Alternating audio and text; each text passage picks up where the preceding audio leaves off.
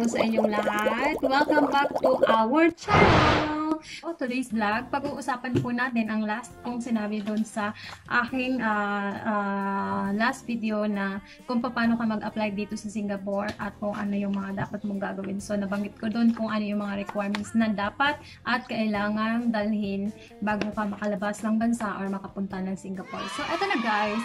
Ito lang lahat yung mga requirements ko bago ako nakalabas ng bansa. Unang-unang requirements na kailangan natin at required para makalabas ng bansa is pasaporte. Passport. Ito po ang unang-unang kailangan kailangan natin para tayo ay makalabas ng bansa. So, ang passport po ngayon is 10 years valid validation na. Itong uh, passport ko is 5 years pa lang validation. So, mag-expire na siya ngayong 2022. So, magre-renew ako dito na sa Singapore. Uh, madali lang naman dito sa Singapore. Hindi masyado mahaba ang pila. Mahaba ang pila. Hindi masyado mahaba ang pila. Depende sa panahon. Depende sa mga taong naka-schedule para kumuha ng passport. So, guys, ito yung unang-unang kailangan natin bago tayo makaalis ng bansa. Passport. Pangalawa, yung employer's contract. Ito po yung employer's contract na dapat na ibigay sa inyo bago kayo pumunta dito. Kung ikaw po ay nag apply bilang OFW, bilang kasambahay dito sa ibang lugar, ito po yung kailangan-kailangan natin. Yung OFW Employer's Contract. Una, passport. Pangalawa, Employer's Contract. At saka po, pangatlo, yung ticket natin. Flight ticket. Ito po ang kailangan nating dalhin. At saka, magdala po kayo ng Xerox copy ng passport ninyo. At saka yung, uh, uh, i-Xerox nyo na po yung, ano, i-Xerox nyo na po yung sa employer's contract ninyo at saka yung dito, passport ninyo, i-xerox nyo na lang po kasi minsan nanghihingi sila ng xerox pero minsan hindi rin naman. Pero mahirap kasi magpa-xerox doon sa uh, uh, airport. Kaya may dala-dala ako laging xerox copy in case na hanapin nila yung xerox copy ko. Actually, hindi masyado pero dati kasi hinihingi nila.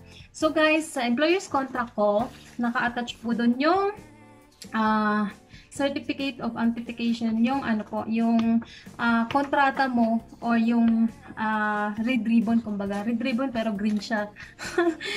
red siya pero, red, red ribbon ang tawag dito pero green ang kulay niya. So, ito po yung contract na nanggaling sa embassy. Certificate mo na ikaw eh, pwedeng pumunta dito sa Singapore.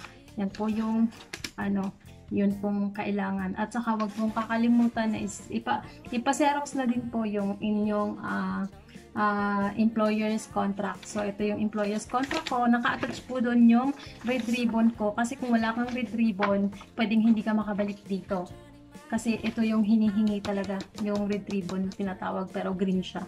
Ito yung hinihingi talaga pag pabalik ka dito ng Singapore. Pag pauwi mo, Uh, ganun din naman, kailangan yung ticket mo, ticket, flight ticket mo, tapos dalhin mo lang yung employer's contract mo, yan ang kailangan, tapos uh, passport, importante, at saka yung working permit mo, kung nandito ka na nagtatrabaho at pauwi ka ng Pilipinas, yan po ang kailangan-kailangan nating dalhin at huwag kalimutan. At saka ito po yung resibo ng OWA. Saka nagbabayad po kami ng OWA nagbabayad kami ng OWA, yung parang travel pass ng OWA. Ewan ko kung anong tawag dito, basta ito po yun, yung binabayaran namin. Pero nare-refund to sa iba. Ako, wala pa akong, sa OWA ko, wala pa akong nare-refund kahit isang beses sa pag-uwi ko. Wala akong nare-refund na OWA. Ewan ko ba kung bakit. Pero pumupunta naman ako doon, pero sabi nila, sabi nila hindi na daw, eh parang kung may paliwanag sila kung bakit hindi na daw nila binibigay yung sa OWA. Yun ang paliwanag nila sa akin. So, hindi na ako kumuha ng sa OWA ko. Siguro nakatanggap ako ng 2016. Na-refund ko siya. Na-refund ko siya kasi nakita ko pa yung OWA doon sa sa Pilipinas, sa second floor ata yun. Doon ko siya nakuha dati. Ngayon, pag uwi ko ng 2019, hindi na ako nakarepand ng OWA. Ang sabi doon, hindi ko natandaan kung ano yung sinabi sa akin, pero hinabol ko to kasi sayang din yung nasa 500 din yun. Kailangan din yun guys, yung OWA, sayang malaking tulong pa din yan, nare-refund sa inyo yung 500 pesos. Ako kasi hindi ko na mahanap guys kung paano kukunin, wala akong kasabay kasi.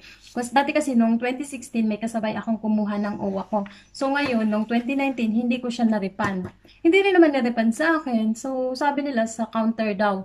Pumunta ako sa counter, tapos sabi sa akin, pumunta ako sa kabila Tapos pagpunta ko sa kabila, pinapasa na naman ako sa kabila. Dapat na ipakita ko ito. Pinakita ko naman, pero sabi sa, sabi sa akin, mag-antay daw ako saglit. Nag-antay ako saglit, sabi sa akin, wala na daw OWA doon. So, hindi na ako naganap kasi maiiwan na ako ng next flight ko papuntang Bicol. So, hindi ko na pinabayaan ko na lang siya. Tapos guys, pag bago kayo pumunta dito, kailangan yung inyong uh, uh, TESDA yung inyong TESDA certificate. So, wala na kasi dito yung TESDA certificate ko. Parang ganito din siya, guys. Kina kailangan yung TESDA certificate, yung OWA certificate. Yun ang mga dalhin nyo, guys. Yung akin, hindi ko na mahanap kasi, guys. 6 years na ako dito.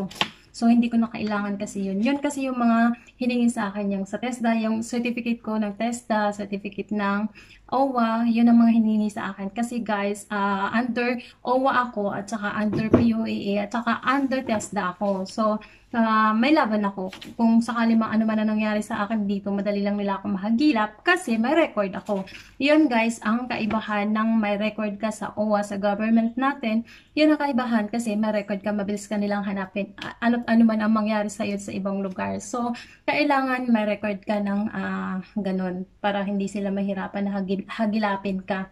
So, yun ang mga requirements ko. Ngayon, kasi, ito na lang ang natitirang requirements ko kasi 6 years na ako dito, pabalik-balik na ako sa Pilipinas.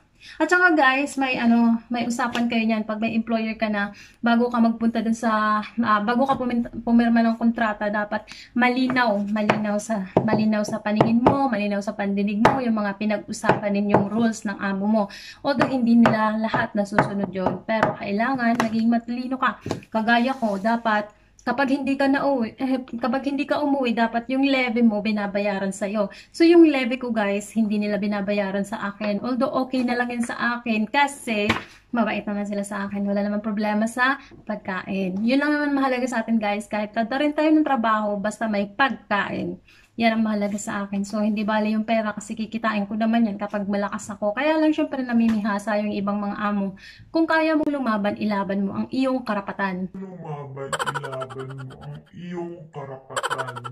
Ako kasi guys, lagi lang akong oo, oo, pero pag, oh. ano, in the end, uh, reklamo ako na bakit kaya hindi binigay sa akin yung levy ko. Hindi na, hindi ko na din kasi iniisip yun guys kasi mabait naman sila sa akin. Wala naman akong ibang problema. Kaso lang yung problema dito is, lagi silang nag check Lagi silang nagpapiano. Lagi nilang check yung mga nililinis ko. Nakaka-insulto, pero kailangan nating magtyaga para sa pamilya. Kaya, okay lang yun. Ang importante, hindi tayo sinasaktan. Yun guys, kung ano yung pag-usapan nyo, dapat yun ang iyong ipaalala sa iyong employer. Kasi ako, uh, ipapaalala ko yan kapag uh, kuhanin ko na yung pera na para sa operasyon ng kapatid ko. Doon ko na lang siya kukuhanin at ipaalala. Kukuhanin at ipaalala na kailangan ko yung pera para hindi na ako umutang sa kanila. Although guys, um, bibihira yung among nagpapautang ng pera. Bibihira yon Kasi ako sa kanila guys, kapag kailangan ko ng pera, nakakautang ako. Advance. 2 months advance, 3 months advance. Depende sa akin kung ilan, ilan yung, ilang buwan ang uutangin ko. So, yung levy na, two, di, di ba may leave ka? May leave kang 2 uh, ah, weeks. Yung 2 weeks na yun, 15 days, babayaran sa iyo yun.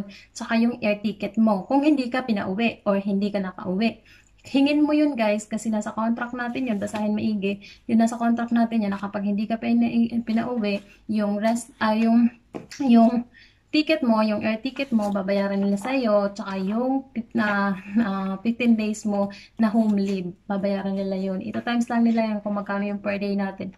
Yun yung hahabulin nyo sa amo nyo. Ako kasi guys, yung 2 years na hindi ko pag-uwi, dapat hahabulin ko yun. So, hahabulin ko yun kapag kakailangan-kailangan ko na ng pera para hindi na ako umutang sa kanila.